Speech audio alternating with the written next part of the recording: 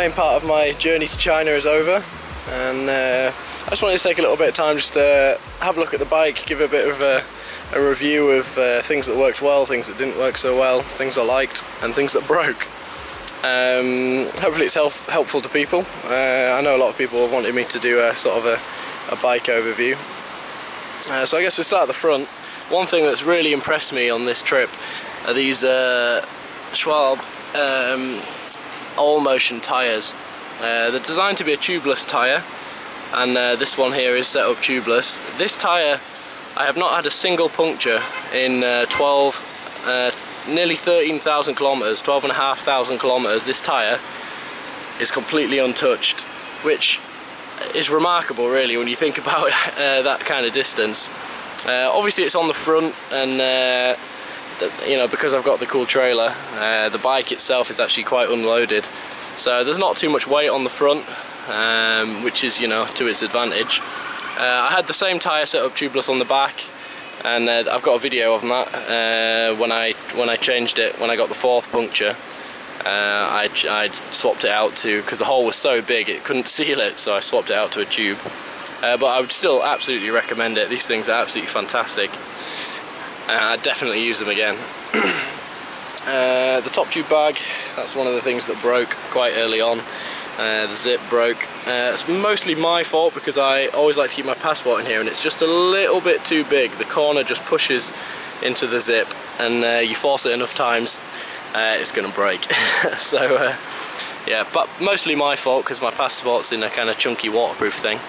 but that's that's only a minor thing but obviously it's quite annoying when you're on the bike when this is like your main access storage. Uh, same on this zip on the Jones handlebar the Jones H-loop bar bag. Uh, I could easily fix this one probably. It's just got a bit of material stuck in it. I can't unzip it past there. Uh, it's pretty good this bag. Pretty happy with it. There's not a lot of space in it. Uh, and when I had I've taken it off now. I had the data box from Grintec here which is part of the Suntrip that does all the data logging so once that's been processed, I'll have access to all the data from the entire trip, all the energy in, all the energy out, absolutely everything. Uh, the average speeds, everything. Uh, so that's pretty exciting. It's going to be nice to get that and share it with people. Yeah, but like I say, when I had this up like that, it was actually quite hard to get access to this bag. But it's uh, it's still pretty good, and the handlebars are very comfortable. They're a nice shape. The ergon grips. Um, the ergon grips are pretty good. They tend to destroy your hands after a while though. I mean, it's, it's comfortable, but you get a lot of, uh, in the heat, you get a lot of rubber. Obviously, you can see, like, I can probably show you underneath. I mean, it started off looking like, uh, whether you can see that or not, I don't know, like a, a really hard textured grip. Now it's completely smooth. Obviously that rubber's got to go somewhere and it goes on your hands. Same with the Rohloff uh, shifter. Uh, this always leaves so much, so much rubbish on your hands it gets pretty annoying after a while. And in the wet um, it's a, sometimes can be a little bit tricky to shift. It's, sometimes I find it's better to grab the actual fat ring part to try and shift gears. Um, so on this bike all the electrical stuff is, is in on the bike itself. Some people on the Sun Trip had batteries in the trailer and um, of course some people had a motor in the in the little rear wheel which makes a lot of sense. But some people had the batteries in the trailer, but I, I, wanted to keep all the electrical stuff on the bike, so the bike is completely independent of the trailer. So inside here you got the battery, you got the solar charge controller that sits up here. It's a Genasun uh, boost charge controller. I'm only using one of those. And uh, so the solar the solar panels, uh, they're, they're, connected through here, so you can remove all of these MC4 connectors. Not very good connectors, but they're, they're good enough. And this one here comes from uh, the other part of uh, the electrical system. So inside here I have a, uh, a buck converter, which basically just brings the battery voltage down to 12 volts for all my 12 volt things. So I've got a USB charger that runs, I've run the cable up here and it goes to my phone on the little quad lock, uh, something which is also very very good, very handy.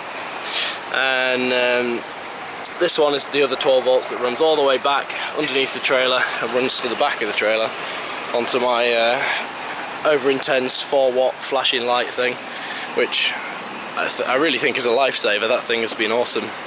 And it's visible in the desert for like two kilometers so it really really helps improve your visibility. So uh, sorry if I'm rambling a bit. I haven't really got a script for this.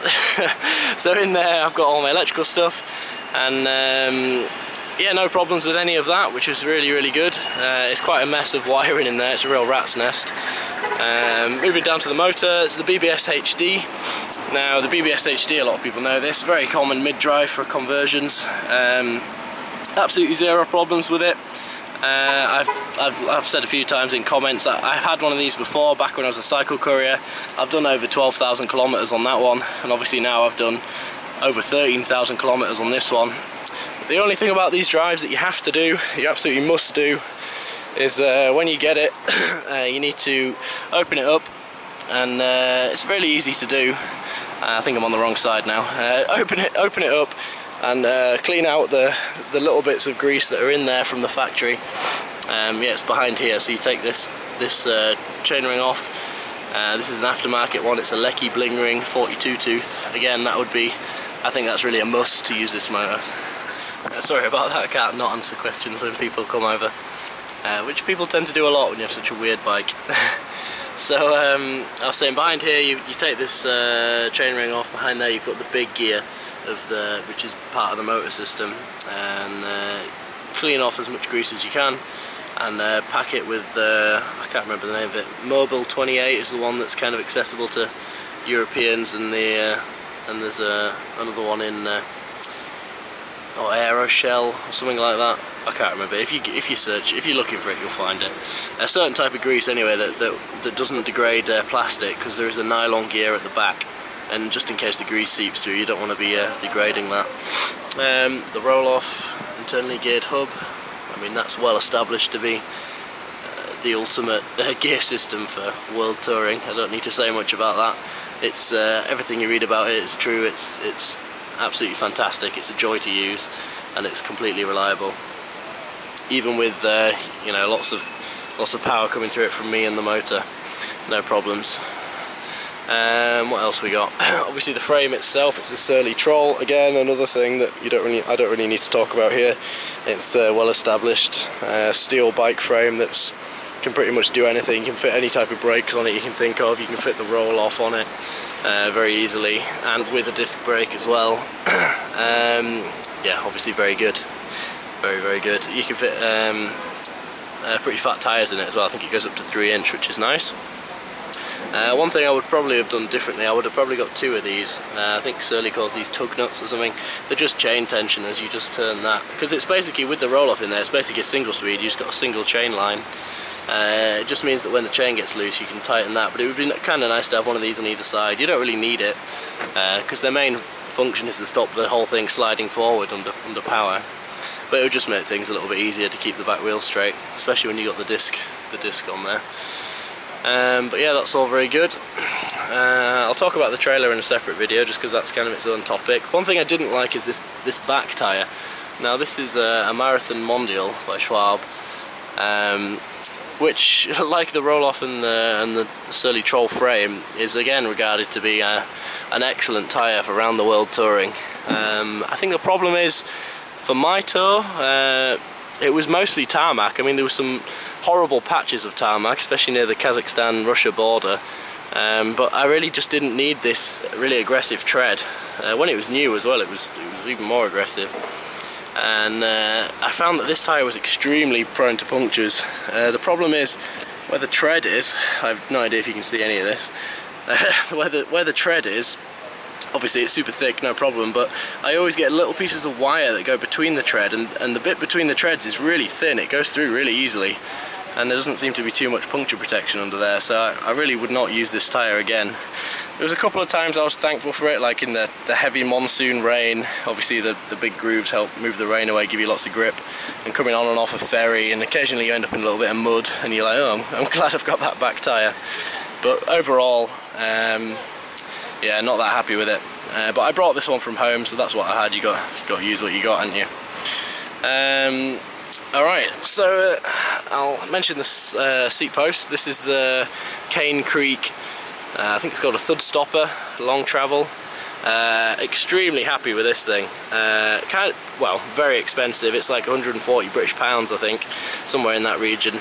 But it, it really takes the edge off. Obviously, I don't have any suspension, and it means that you, there's not really any situation that you have to lift your normally if you see a bump coming you'd kind of use the pedals and you'd lift your weight out of the saddle just to stop it from uh, hitting you too hard. But you really just don't. You just kind of can keep sitting down and it takes the edge off any any little bumps or even slightly bigger bumps. Really happy with that. I wasn't and it's obviously I haven't done anything to it. I brought some more of these rubber things in case they wore out which they have a little bit but not to a point where it's a problem um, I think a lot of you have seen my video where I got given this saddle in Germany by a very kind uh, man running a bike shop called Velo Company. Uh, you can always go back and watch that if you're interested.